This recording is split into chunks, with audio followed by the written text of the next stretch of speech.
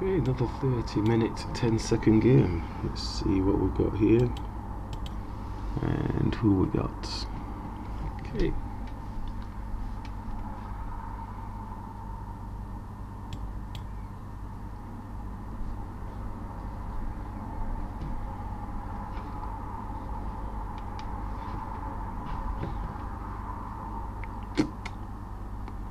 With the four knights, nice and simple.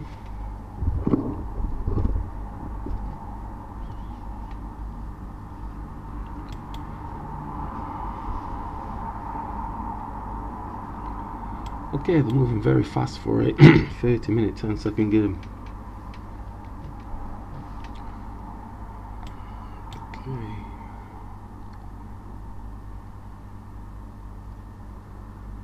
That's an interesting situation. Let's just go here. Let's protect the pawn.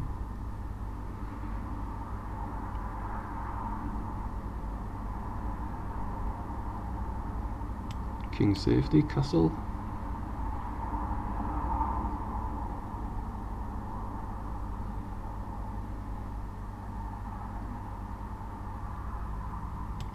So what does the bishop want to do?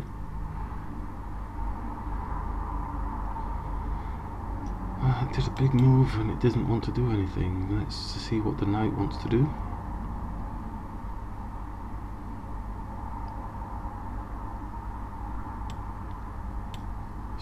Let's just take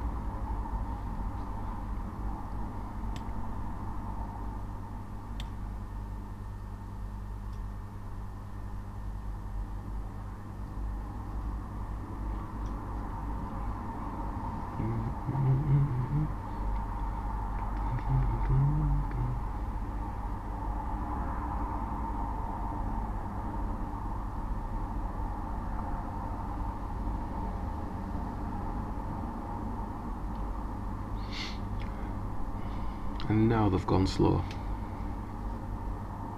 So it doesn't mean we're in a favourable position. I mean they've got an advanced pawn here. It's got no protection on it but it's easily defended so it is quite highly elevated up there. So now he's looking to exchange off pieces, looking to improve his position with his queen protecting the pawn. So that's quite an interesting situation. Could attack the knight with the pawn, smaller piece attacking a higher piece. Don't really see why we should develop their queen for them. But we could just take our bishop, queen takes. See what the knight wants to do. Again, we're sat just waiting for the opponents to overextend. Let's just capture here.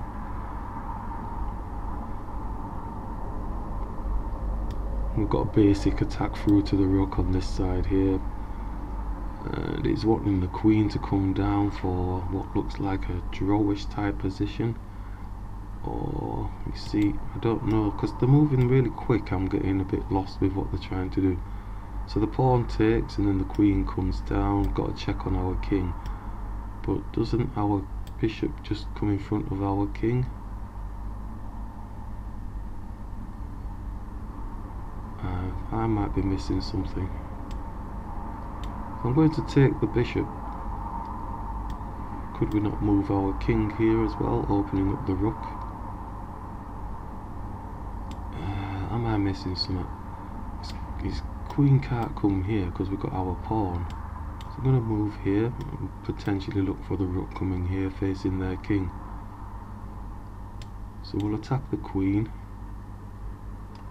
So now we're facing this target area here. We, we haven't got any pieces to, to support that attack, but uh, he's on a white square. Bishop can take this pawn x-ray through, rook comes onto him.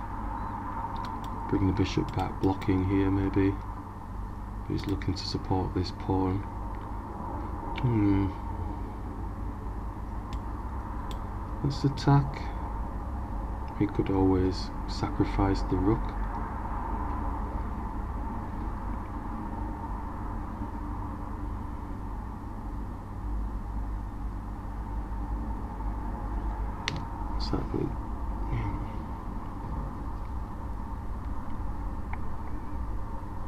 Okay, everything seems to have gone to a standstill now.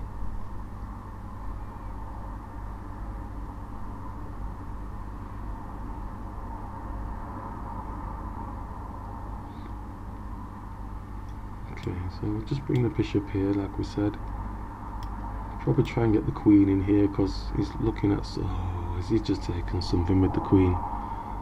Ah, okay, okay, okay, okay, okay, okay, okay, okay.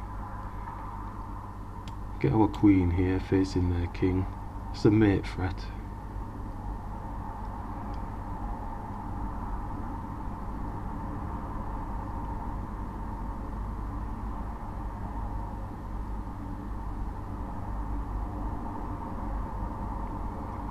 Well, not necessarily a mate threat per se because his queen is protecting that square. It's really wanting to keep protecting this pawn though, doesn't it? Could look to see if he wants to exchange the queens off.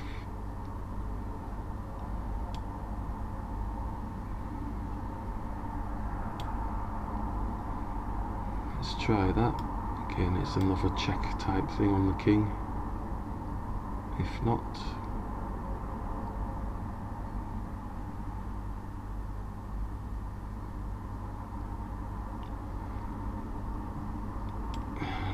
Well, we must have been moving a bit as almost as fast as them then, because our time doesn't seem to have gone down. It's a 10 second increment.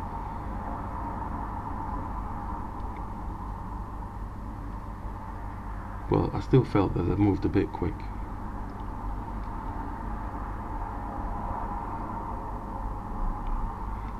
Attacking, so we can bring the bishop back, can't we, just to block Still wanting to protect this pawn like crazy, isn't he? Position, position. Oh, he's come with the rook. Damn. I was just about to say we can move and trade here. Now he's attacking this pawn.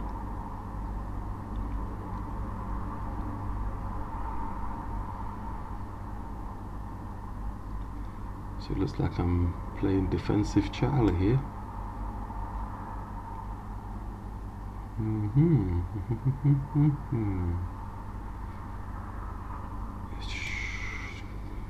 this rook is ready to go here, isn't it? Although it can't really do much, can it?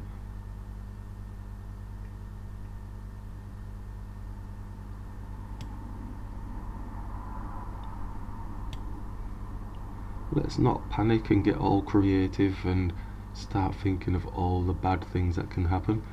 Let's have a look at some of the positives from those bad things. How many positives can we generate from the overactive creative brain of this can happen, that can happen, the other can happen. We have an advantage, we have a minor piece up. So what are the positives? Yes, we're defending a pawn here. The creative mind is basically saying, look, yes you have the advantage, but watch your blind spot keep your pieces safe as best possible and slowly but steadily just start maneuvering your pieces. There's no rush. Take time. Find the right position.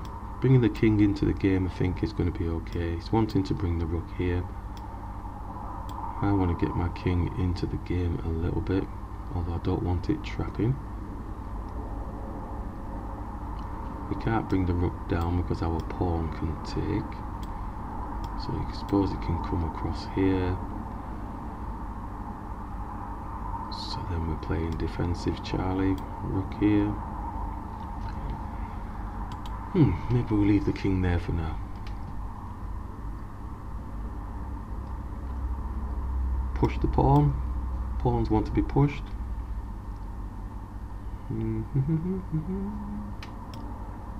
Thinking if we're allowing this. If I push this if I push that we could always bring in block there. And then get his other rook onto there. I suppose the bishop can come and protect the pawn Let's push the pawn. He's, he's blocking. So we do have the picture, bishop protecting, that type of thing. So just bear that in mind. Oh, but his rooks can't come here because we've got the pawns there anyway. So let's take our time and grow. Come on. Think it's going to be the king coming across. But I don't really want to tantalise his rook coming across here. Didn't really see anything wrong, too wrong with that. It's just the idea of him coming to this side here. Hmm. I could, oops, I could go there if his rook is there. But because he's got the pawn there, although I could just take this pawn in the first place, but no, I could go there, and if he comes back, we take the pawn here. Okay, let's um, give it a try. Let's give it a try. Stage at a time. Try not to lose the advantage. I'm sure they're not creating magical, mystical moves.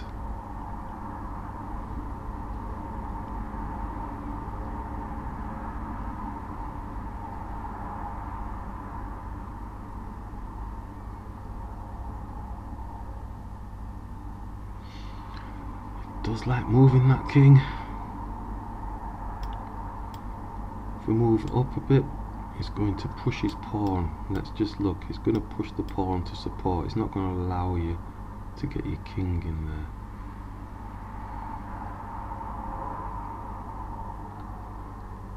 At least the king is supporting the pawn, then we can look to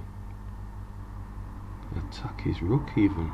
Interesting time. So in fact, because the pawn king is protecting the pawn now, we could do that. It's just that his rook is going to come here, and that's going to dishevel the situation a bit in there. Because if we go there, he gets the check. We move up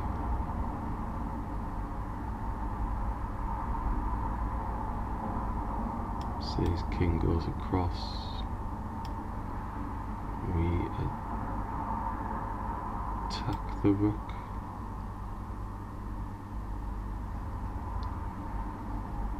And his rook can't go anywhere because it's kind of trapped. So then he goes crazy takes this pawn we take his rook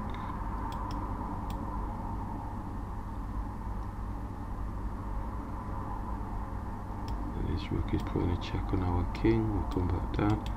Hmm. Interesting. Attack the rook. Rook puts a check. King moves. King goes to attack the pawn. King comes here. What am I missing? What am I missing? let's go with it I've been through it probably three times. I didn't feel like I was missing something but there's always magical interrupting moves such as magical pawn oh the pawn could support it. If it's there.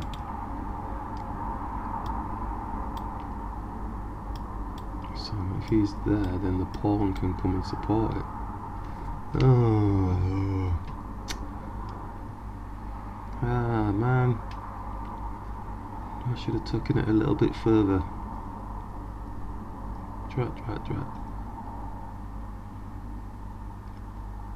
Okay, right, so it comes with the check. Doesn't go with the check. We're taking this pawn, this rook off the board because we can trade down. I'm gonna have to put some pressure onto the pawn with the rook.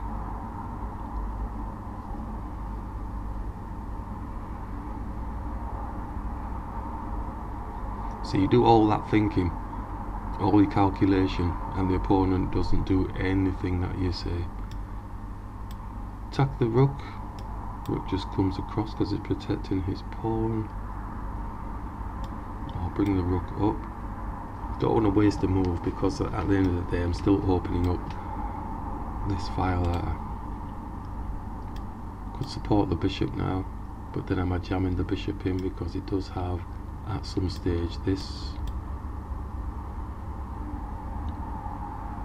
I think I like the fact of being able to go over there. So if we push this pawn because we're really wanting to get this pawn he's probably going to see that. Just going to push this pawn. With the idea of bringing the king to attack this pawn. He's still going to have the replication pawn. If he does push push then this pawn still supports the pawn anyway it's less pieces towards the king here because it does have a pawn majority on this side. And what I don't want to do is get into creative mode now looking at all the different options blah blah blah blah blah and then not logicalizing the creative choice the correct choice that has been calculated. Because that's where we're currently at. Brain gets all giddy with too many moves and ideas and strategies and oh look at this one this one's interesting. And then it doesn't say well it, logically is that correct? After all your calculation?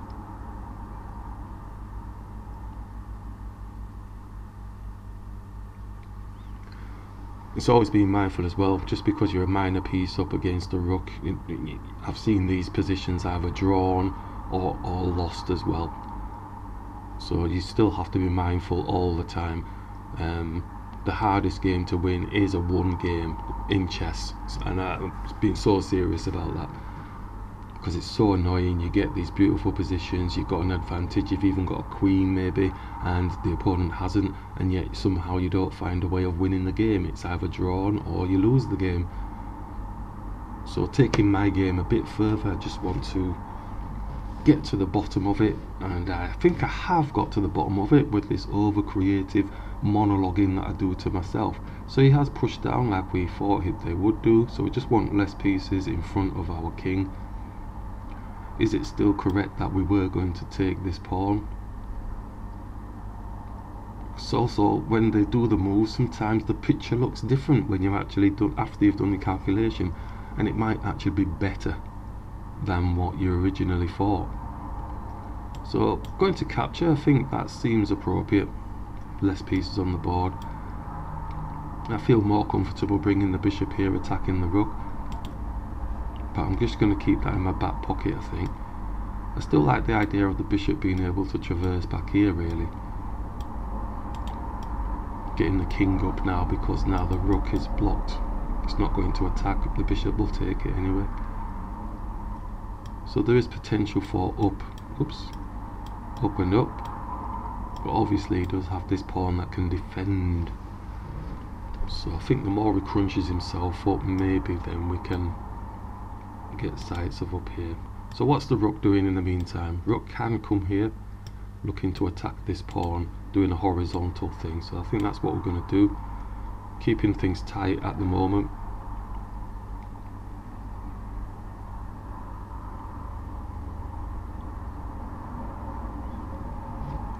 Okay, so the pawn does come down. So then we can look to do the zigzaggy thing with the king, also putting pressure onto the rook. So even if we did put pressure on the rook now, it can go here. So there are elements that we could potentially maybe take the bishop out of the equation for a moment, just bring it here. Or he's going to go there, isn't he, if he's attacked. or he might, excuse me, he might look to exchange. So it would be nice if we could get the pawn here. So attacking his attacking that space that key space so his pawn probably does take. And at that point then we can take here but then his rook's going to come across and defend the pawn here. It is a dark square so bishop could come and attack. The rook goes back attacking the bishop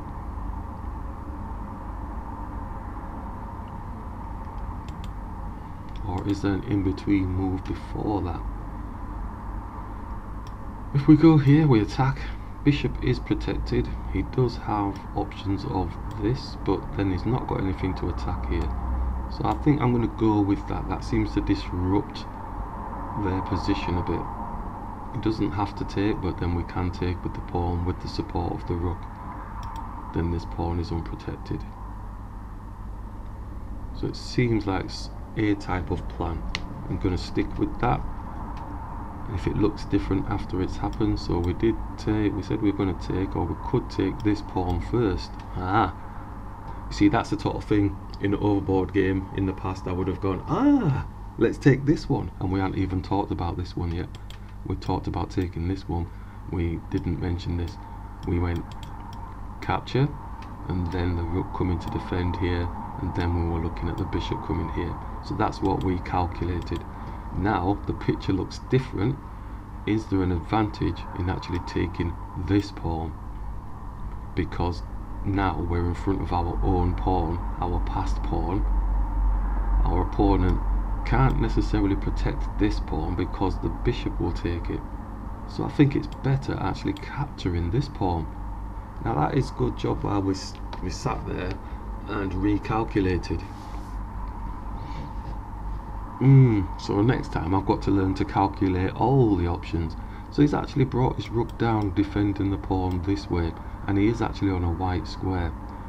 One of the good things I see about it is, is that we could push here, it's just that the bishop is there at the minute.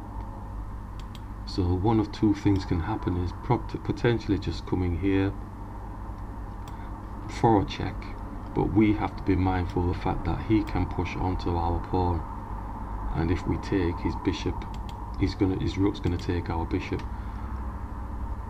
So how do we want to play this? I don't think there's a bad way to play it. I think we could just bring the bishop here. Ready to line up on this side if need be.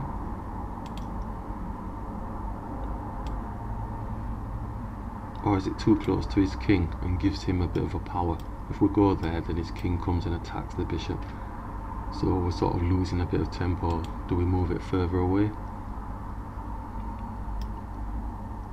We could bring it to the spot that we liked, you know, we gave our little bit of air, but also that's a bit of air for the king. So maybe we don't block that way.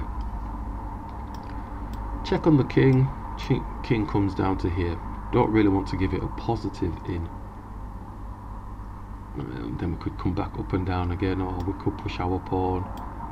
He pushes his pawn. That's the concern I think they're being clever with this pawn move. Um, so I am going to move the bishop somewhere. My pawn won't be protected so I've got to be mindful of that.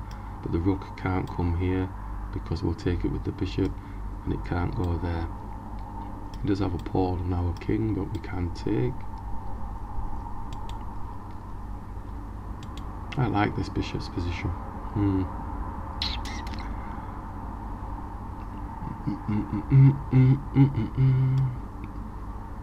if I moved it to there, let's try that. Move it to there. Don't really want his king feeling powerful and making us lose tempo but I also don't want him pushing down and we're losing a bit of tempo because the bishop's under threat.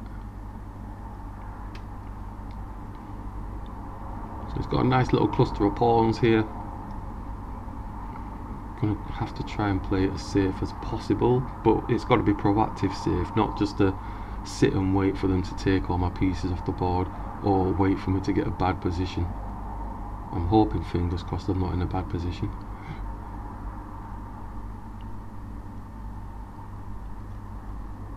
So it's a nice pin now because we can now push forward with our pawn onto his pawn. He doesn't have to take he could just leave it there but then we'll get the pawn for free. So if he does take we take his rook. And then we've got a bishop that hopefully can push forward. So I'm actually going to go with that seeing as the king's moved away. And then he's got three linked pawns but we do have a passed pawn on the far side that should be able to get up I think. And he's got a pass pawn here, obviously, so we need to be mindful of that. And let's go. Push. Just bring this bishop here. He could do a fancy thing like pushing onto here like this, and then I take, and then he pushes down, but then I think we've got space to attack or come this way. So he's going for it anyway, so he's still looking to actually push down on this one. So I'm going to just bring the bishop here. I'm not too sure if the king's close enough to get this pawn, so I think we should be able to ramp this home.